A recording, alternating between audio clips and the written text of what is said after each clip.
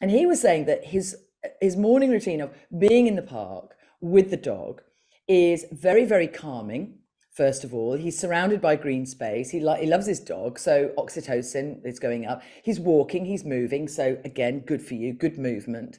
Um, and then he was saying, when the dog, I will, we, I, are we allowed to swear? Yes. Okay, when the dog when the dog takes a shit, um, he has to pick the shit up, and he thinks to himself, "Okay, my day can only get better from here on in."